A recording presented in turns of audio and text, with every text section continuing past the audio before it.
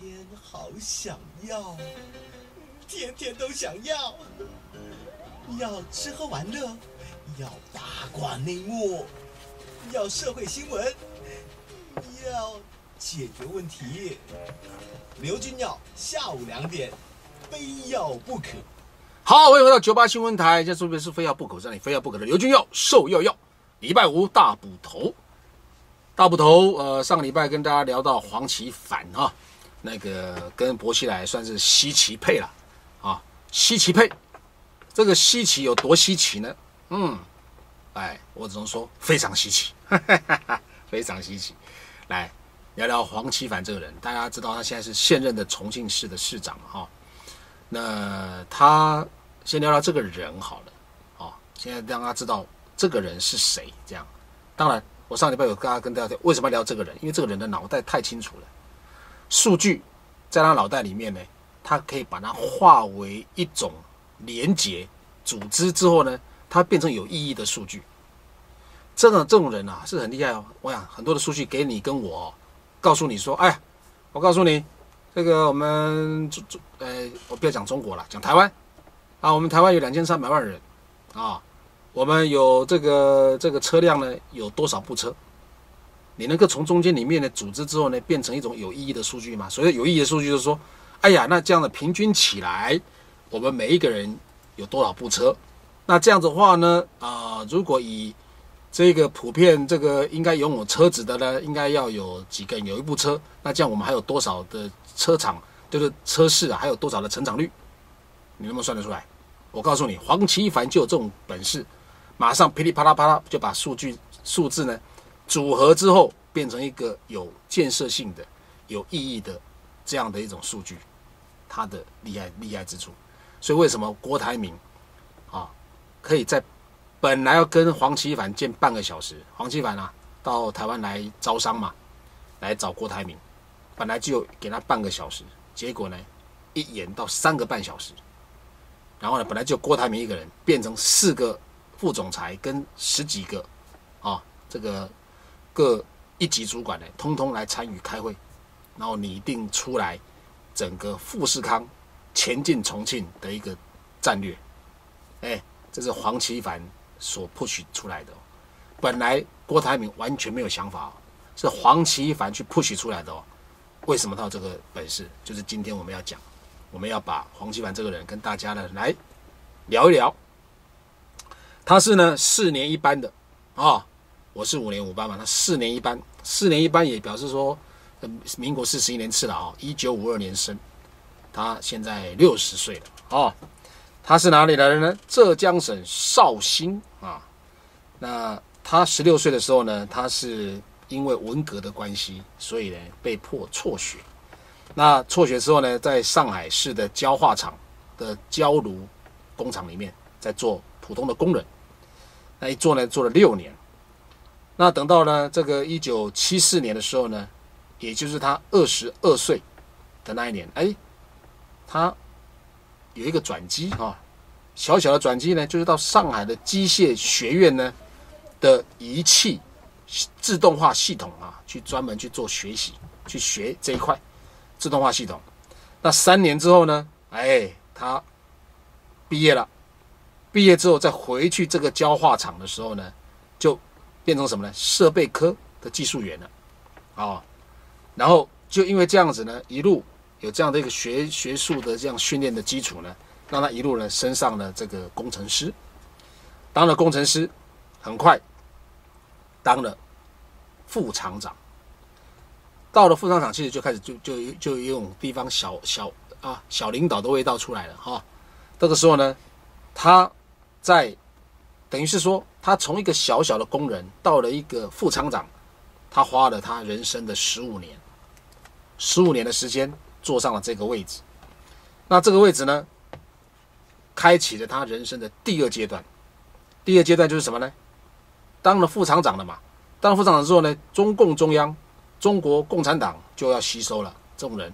好，你要不要进入我们的啊党政系统啊？到当然，他说好，就进到了呢上海市委呢整党办公室的当联络员。几个月之后，又出任了上海市呢经委综合规划室的副主任，啊，开始涉足呢宏观的经济管理。这个时候开始才表慢慢表现出他对数据啊的这种啊敏感度，好，这种天分呢就在这个地方呢慢慢展现。后来到一九八七年的时候呢，啊，也就是他大概四十五岁的时候，他呢担任了上海市呢经济信息中心的主任，啊，那因为这些的这样的一种经历了哈。让他在等于是那种学者型的的官员啊，打下了这样的一个基础。这个官员很多官员是不同型的哈，有学者型的，有这种啊，这种那种从基层干起的，这种比较草莽型的哈，保兵能啊，我一般的啊，吹气开先吹吹气哦哦一般啊，都有。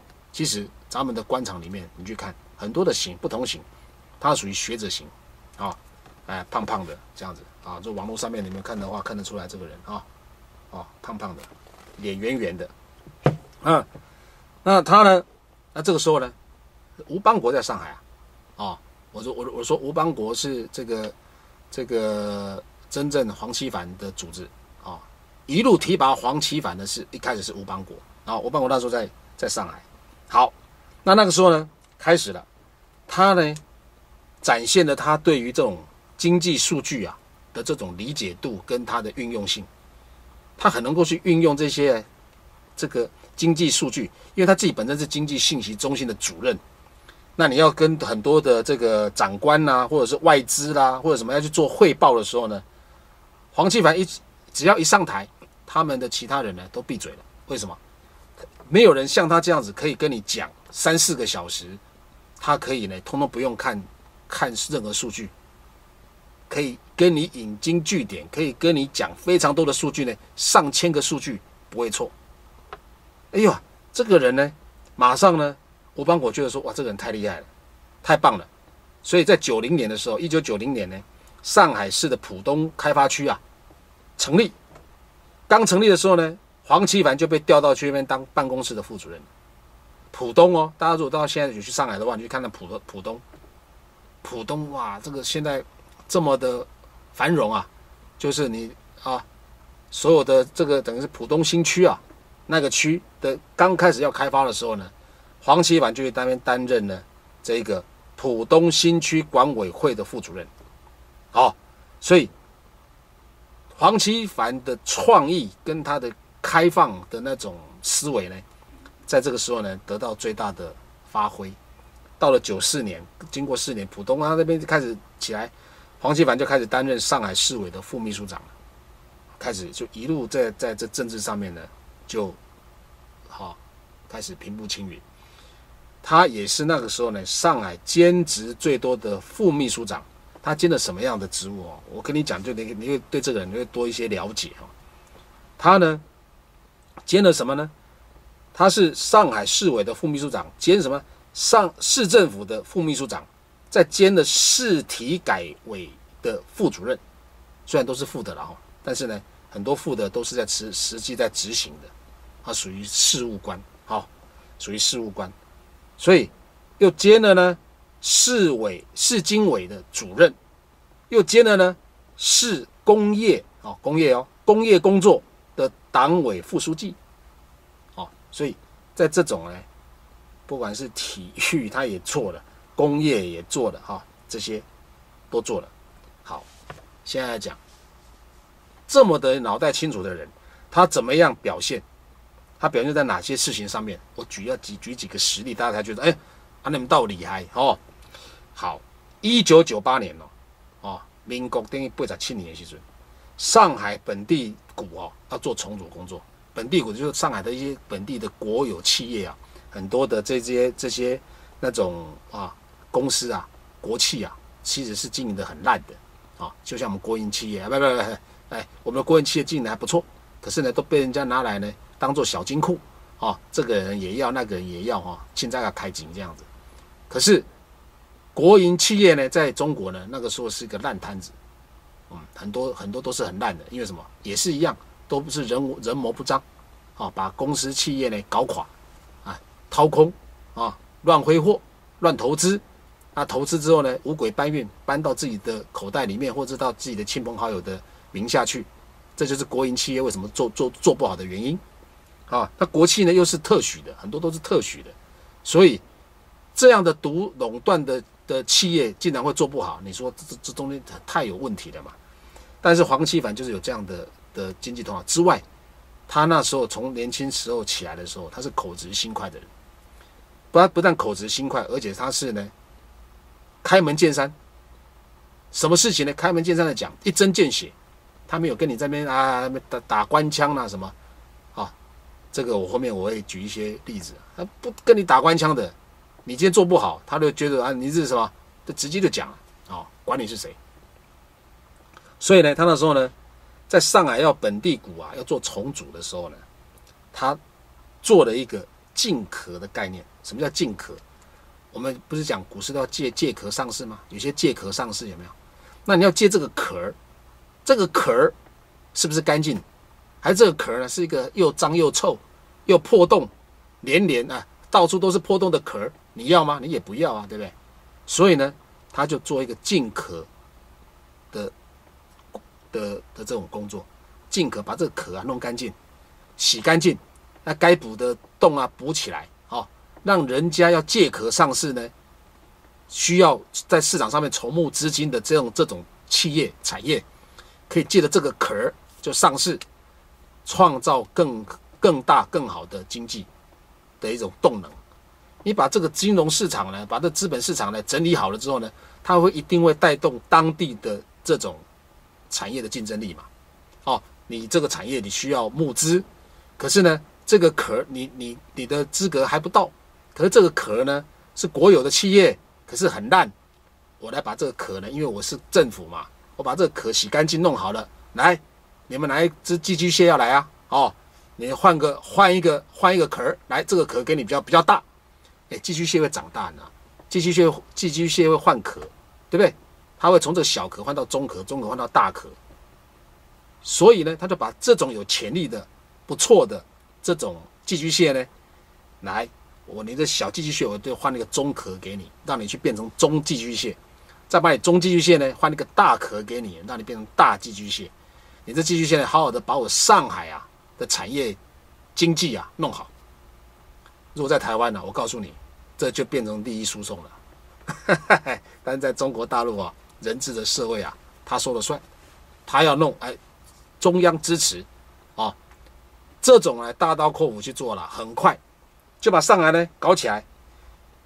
这种整个进壳的工作在他的手上，好，是做的。有声有色啊，这个我后面会再讲的。我先把他的资历啊，把它讲得清楚一点。那一九九九年呢，啊，就是黄奇帆呢，也就是应该已经几岁了？一九九九年四十七岁了啊。那个时候他又去念了一个这个工商管理的硕士，哦的学位。那这个时候他隔了两年拿到硕士之后，隔两年他。就从上海呢调到重庆去当出任副市长那个时候啊，还有人，还有一个专门在这个中央财政部工作的一个高层官员，来跟黄碰到黄奇帆，来跟他讲，他说啊，哎呀，重庆啊的财政啊，是一个啊棺材板。什么叫棺材板？薄薄的一片啊，棺材板呐，啊里面装死人啊，棺棺材板呐。财力很薄，但是负债很高，他什么收入很少嘛？那个时候呢，两千年的时候，重庆的的收入啊才一百零四亿哈，但是呢，它固定资产里面呢，投资啊只有七百亿。金融呢，他们那那时候国营企业的这个包袱啊，欠债负债累累，都是啊几近快崩盘的。那个时候的一千六百亿的贷款里面呢，至少占了五百亿是不良的资产。啊，比例非常的高哦，百分之三十几。那个时候，黄奇帆去接重庆的时候呢，是这么的情况。可是呢，短短哦八年，八年而已哦，黄奇帆可以把重庆呢所有的不良资产率了哈，从刚刚讲的百分之三十几降到百分之一点三七，这个不是做出来的哦，这个数据是真的，真的是这样子哦。因为呢，他把他在上海怎么样去做进壳工作的这样的一种经验呢，移植到重庆去。哎，那你那你大家会讲说，哎呦，那如果这样的话，中这一套呢，全部把它移植到全中国的话，不就中国就更强了吗？哎，对不起，黄奇帆做的，在上海做的，在重庆做的呢，都做起来了，也被财经经济学者呢，哇，作为一种研究的论文的一种这种题目。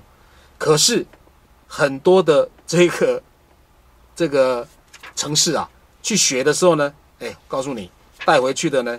通通失败，全部失败，就只有呢，他成功，包括我们中国的东北啊，辽宁啊、吉林啊，去想去学重庆的这一套，结果呢，没有一家，啊，没有一个省份拷贝成功，都失败，啊，为什么？因为你可能没有像这样子黄奇帆这么样的一种这种天资啊，那这个这个天赋异禀啊，这个聪颖过人啊。好，我们来我们来讲，他怎么样把重庆呢整个弄起来？先随便讲一个啊例子。重庆呢，他们那边他刚去的时候呢，有八大城市投资集团，有八个哦，包括做土地的啦，做国债的啦，啊，那这些投资集团呢，其实呢都负债累累。那怎么样？去把他们这些这些八大投资集团呢，可以让他们的起死回生。他的做法就出来了。他说：“哈，这样子啦，我们呢，土地呢在国家的手上嘛，土地在国家手上，我今天把土地做一个整理，然后呢变更地地目来做一些开发。哦，你们呢民营的这些这些企业呢？”你们没有这些土地的资本，有土是有财嘛？你们缺乏的呢是土地嘛？那我用呢这样的方式呢，让国有企业所占据的这些土地呢，做一些释出，好，然后呢，你民营企业呢来做一些投资跟开发，让这个东西变成解决大家问题，大家双赢。举一个例子，比方说。烂尾楼，什么叫烂尾楼？就是呢，重庆本来哈有一些，呃，解放碑那边，如果大家去过重庆的话，解放碑那边我还我之前还蛮蛮常去的哈。重庆的解放碑那边呢，是一个呢，是一个地铁花园的一个中心。那个地方有很多的烂尾楼，所谓的烂尾楼就是当房子开始盖，可是民营的投资跟跟银行的投资一看，房地产好像没有那么好。银行紧缩、紧紧收这个这个银根，不再投了，那这个房子呢就晾在那里了，这叫烂尾楼，就尾巴很烂啊，虎头蛇尾。那虎头蛇尾的时候呢，这烂尾楼谁来收拾呢？黄奇帆用他的本事呢，把它变成了处处是黄金。先进广告，广告之后继续跟你聊。我天天喝普洱茶，上电视也是广播节目。我要补充大量的水分，还有身体自己不能制造的儿茶素跟茶多酚，来做体内环保，还有抗氧化。挑普洱茶，我挑玉上品普洱茶。玉上品普洱茶，它有非常清楚的中国云南勐海的产地标示，还通过 SGS 的无农药认证标章哦。所以要挑好的普洱茶，我推荐玉上。好，回到九八新闻台，我是刘俊耀，寿耀耀。啊，今天讲的是大捕头。啊，讲黄奇帆这个人，重庆市长啊，他怎么样把重庆呢改头换面的哈？然后呢铺排了，营造了一个非常良好的金融体制，让那么多的外资，包括郭台铭，包括美国的惠普，都进到重庆呢去做投资，这是黄奇帆的功劳了。好，我刚刚讲烂尾楼，先看他怎么解决哈。他刚刚去的时候呢，两千零一年的时候他去的时候呢，那么多的烂尾楼，那烂尾楼。总重庆市的主城区啊，总共烂尾楼的总投资额到了五十亿人民币，五十亿，这么多散布在整个重庆的主城区里面，就有五十亿哦。那必须要拆迁的拆迁户呢，有五千多户，银行贷款呢有三十几亿啊，达到了六成哦。好，那这些烂尾楼，大家银行都不太敢投了，所以呢就放给他烂，没有人要去收尾。黄奇帆第一个从解放碑的那一个烂尾楼开始来处理，他怎么处理呢？好，这个比方说这个投资项目，解放碑的投资项目呢，大概有三亿三个亿的人民币，三个亿人民币呢，它是这样，银行贷款了一点七亿，然后呢，老百姓呢，就是那个一千三百多户的老百姓所集资的款项呢，是一点二亿，就二点九亿了嘛，哈，好，那开始盖，盖盖盖盖盖到九六楼的时候呢，停住了。因为什么？开发商的钱用完了，开发商的口袋都不深了，哪来的开发商啊？你又不是政府，政府口袋最深了。你开发商那个时候的的，对于这种个体户来讲，对于中中国的民营来讲，还没有像现在这么蓬勃了啊。所以那个时候开发商啊，咚咚咚啊，没钱了，没钱之后呢，银行一看，哎呦，你开发商都没钱了，那怎么办？紧缩银根，不再出不再出资了。那这个时候呢，银行一封账，这个老百姓呢就完蛋了，就是说，哎，那这样怎么办呢？我们出的钱呢？哇，就开始呢上访，所以上访就是跟上面呐去做这个这个啊，去陈情了，啊我们叫陈情，他们叫上访，开始上访，哇，这个一四年多来就一直去跟市政府陈情，没有人解决，市政府说这个这怎么弄啊？银行不给钱了，开发商没钱了。那你们也那我我我政府我也没钱啊，我怎么来弄呢？好，谁来接谁来接盘？黄奇帆，黄奇帆说这样的，他算一算，他把这些钱啊数据放在他脑袋里面了，他他一算，你看哦，所有的这个这个他们现在的一点呃二点二亿了哈，他们现在啊现在已经出出来的钱二点二亿。我做政府拿二点二亿出来接盘的时候呢，再花一个亿就是三点二亿，三点二亿，我这整个解放碑总共有十万个平方米，我十万平方米，我随便一个平方米我卖四千块人民币，卖不到吗？我卖四千块人民币，十万个米，十万十十万平米，一算多少？四个亿嘛，四个亿，我刚刚三亿两千万。我这样一减掉，是不是我还可以赚到八千万呢？好，用这种东西好，你你现在民营资本没有对不对？好，我重庆市组一个城投公司，就城市的投资啊，城市投资的公司，我来接盘。政府一接盘，我先拿出二点二个亿来，一点二亿呢还给你老百姓嘛，还给老百姓，你不是出出了出了这个一点二亿吗？一千三百多户集资的一点二亿吗？我还给你们老百姓，好了，银行你本来说要贷款一点七亿，但是你出了一亿之后呢，你就不收手了嘛？封账呢？不敢投了吗？这个一亿呢，来政府还给你一亿，我二点二亿呢还给你们了。好，大家都解套对不对？我来开始盖，我来重整，啊，用我政府的钱咚咚咚盖好了，一个每一个这个平方米呢，我不是卖四千块，我卖四千五百块，哗一卖。四点五个亿进来进账，啪啪啪！解放碑的这个花园花园广场，整个周边盖起来了。第一个第一栋，不但呢造就了地方的这个经济的繁荣，刺激的消费，政府也解套了，哎，卖出去了嘛。然后呢，人民也解套了，银行也解套了，大家都赚到钱，拍拍手，哇，黄金房你太棒了！就这样子哦，这是当做一个样板，这么样板一弄呢，重庆本来有一百二十几个烂尾楼啊，噼里啪啦噼里啪啦，哇塞，就翻，全部通通，通通好了。这个叫做呢半拉子工程，半拉子啊，呃，一半的半拉，就是把它拉起来的拉啊，半拉子工程，就这样。重庆就搞了这个半拉子工程，把这一百二十几栋的烂尾楼全部拉起来了。好地段，那你这个地价当然就升值哦。那这些这个所有的半拉子工程呢，一个一个呢，拉动了整个重庆的这个经济，整个金融呢活跃起来了。黄奇帆早就到了到任的时候，就跟这些民营的的开发商讲，告诉你们。烂尾楼里有黄金，在烂尾楼里面，你不要看它烂呐，里面都是黄金啊！结果没有一个民营企业开发商想听听进去，结果呢，他来做，一做噼里啪啦全部啊解决了，就两千零四年就解决了所有的这个重庆的烂尾楼的问题，花了几年？三年。哎，黄奇帆一到那边，马上啊牛刀小试三年，竟然把一百二十几栋的烂尾楼，人家已经头痛了不知道好几年的事情呢，就解决，完完全全解决的干干净净。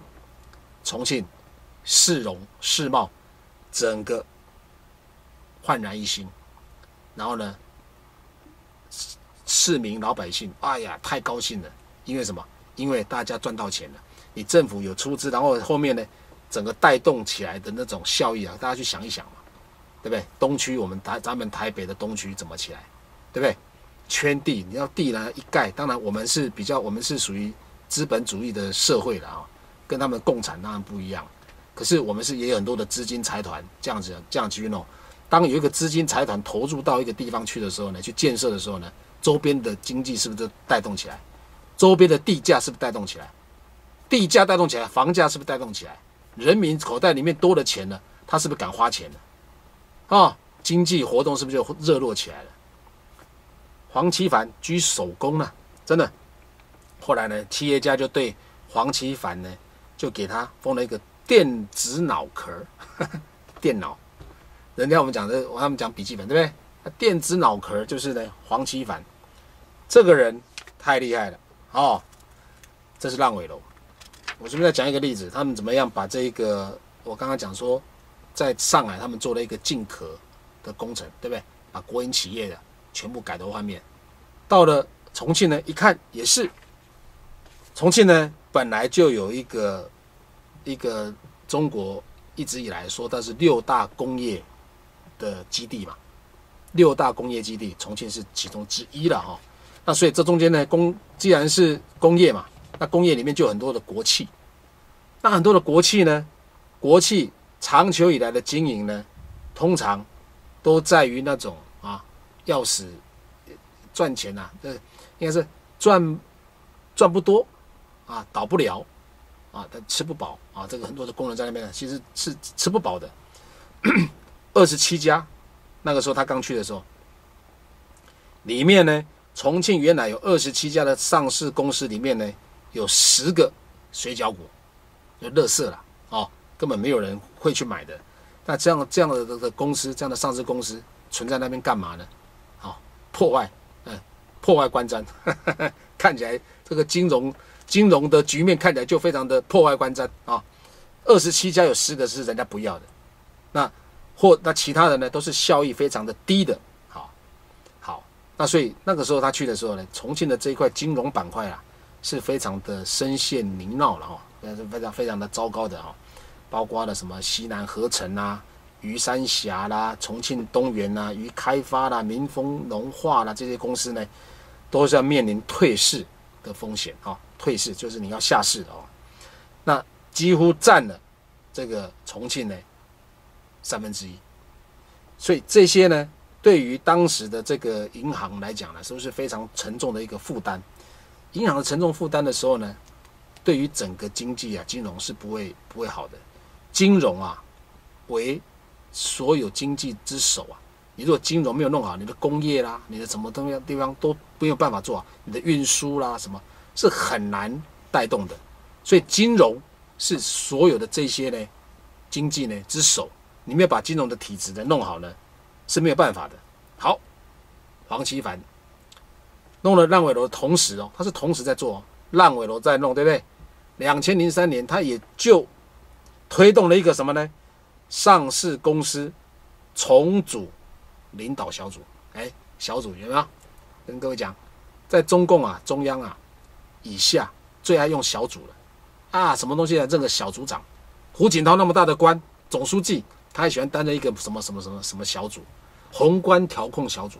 哎呀！经济宏观调控小组小组长最大，哎，你们看那个小组长啊，他宏观调控一随便弄一个命令，好，我要打房，打的你呢，大家呢哀哀叫。小组长发的命令，所以不要看看不起小组长啊，啊，小组长是很大的，在在在中国啊，小组长权力大大的不得了，他就担任了这个上市公司重组小组的小组长，黄奇帆自己来干啊。好，那那个时候呢，人家就在想了，他办得了吗？啊，这样子要来重整整个重庆的这个金融的的体制，这是一个人和一个城市的战争啊！哎，这样子有没有把黄奇帆拖到非常大了？黄奇帆的一个人呢，要跟一个城市的战争呢，这个保壳运动，保壳运动能不能推得动呢？进广告，广告之后继续聊。御上品普洱茶所出产的这一款小茶饼，是遵照七子饼的传统的制茶工艺所做的。它是用完整的茶叶呢上等的好茶去压制的，不像一般呢是使用茶粉或者呢是劣等的茶渣所制造的。我现在车子后面呢都是御上品普洱茶的礼盒，这一家普洱茶老板有良心，几年份就几年份，他就给你什么价钱，只要买对的普洱茶。所以我后面呢。我的行李箱打开，都是御上品普洱茶，因为我相信御上。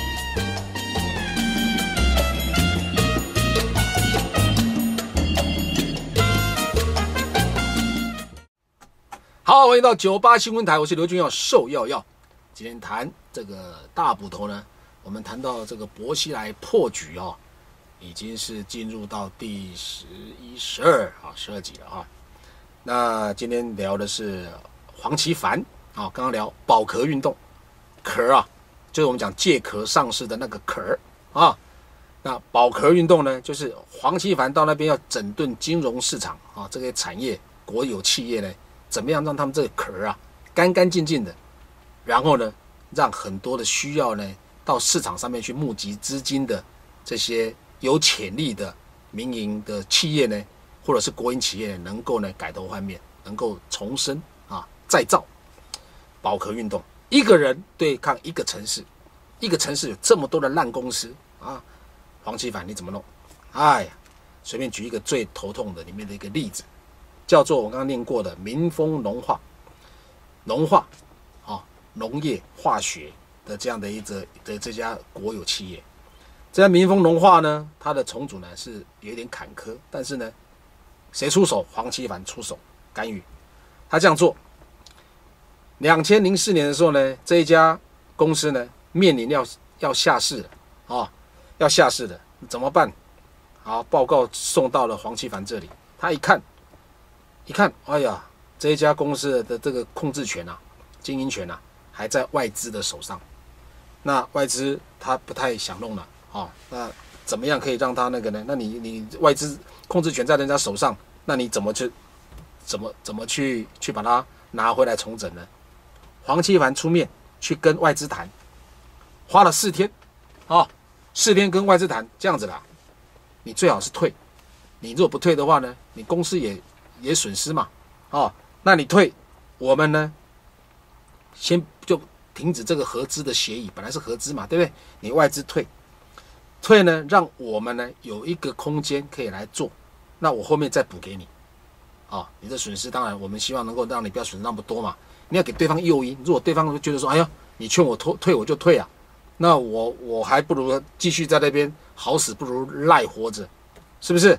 我不死，但是呢，我就赖活着，那大家赖嘛，大家你赖我赖，大家赖成一一团，那重庆怎么这金融体制怎么会好呢？”黄奇帆说：“不可以，不可以赖，不可以赖活着，你要好死，你要好死，但是我不会让你死了啊！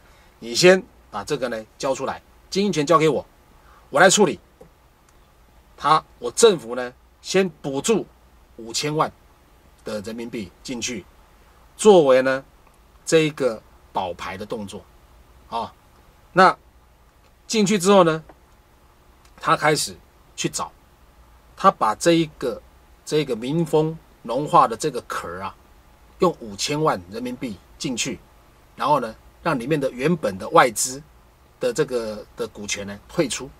那这个壳是不是就变很干净了？外资也没话讲啊，反正没没有外资的问题的啦，没有合资的问题的啦。好，那这个壳干净之后呢，我就去找寄居蟹了，对不对？我去找，哒哒哒哒哒，找到找到一个建丰化工。建丰化工呢，它也是做这一方面，可是它呢，需要呢资金进来呢，让公司可以做更多的一个的一个发展，需要资金。很多开发哈跟那个是需要资金的，啊，营运啊是需要资金的。那可是呢，他没有办法上市去募集资金啊。好，黄奇凡就扮演这样的角色，我把壳找到了，把需要资金的寄居蟹找来，来给你装进去，给你让你借壳上市。哇，这样砰一进去之后呢，建峰化工呢，它活过来了。它不但它本来就还活着，但是是。苟延残喘的活着，那这个呢？民丰化工的这个壳呢是个烂壳，哦，苟延残喘的活着，赖活着。他这么一弄呢，两个一拍即合，大家都获得新鲜空气，这个丰富的养分，马上呢，哎，两家公司呢都洗心革面啊，变成一家公司，然后呢营运的非常好，马上逆势上扬。公司的营运呢，创造了更多的产业，创造了更多的就业机会。他的重庆的市民呢，可以到自己本地的这样的的的企业去工作，赚钱。公司的营运业绩越来越好，冲出了哎，他们有史以来最好的业绩。好了，这么加一家公司，股价是不是上扬呢？上扬之后，哎，你外资原本所这个啊，你。交出的这个控制权，可是我原本欠你的，那通通一一口气还给你，外资也高兴，国有企业也高兴，这一家民营的这个需要募集资金的这个寄居蟹也高兴，全重庆的市民呢有了更多的就业机会，更高兴，啊，工资也提高了，这么一来，黄奇帆花了三年的时间，把重庆呢。自本来原本啊有十几家的乐色股，对不对？还有几家要倒不倒的，对不对？全部一整理，三十家，将近三十家的这些上市公司呢，通通洗心革面，哇！整个金融的市场呢开始活跃起来。哎，你这个上市公司如果开始逆势上扬，人民买股票愿意去买股票，刺激这样子，哎，那他们募集的资金更多，公司的营运更为发达。谁不好啊？没有人不好哎，没有人不好啊。可这在台湾可能就哎图利他人，你怎么可以这样子做？这是我们国营事业，那这这来来来来来来啊！大家蓝绿又来一个口水呢，所有的案子又不了了之啊，然后大家不敢碰啊。这个就是 有时候哦，有时候我觉得哦，在城市的发展的过程里面，真的有时候我觉得集权哦是有必要的，尤其是中国人哦比较奴性，我觉得中国人是蛮奴性的。那这种奴性呢？我这样讲的时候，我们的妻子都在笑啊。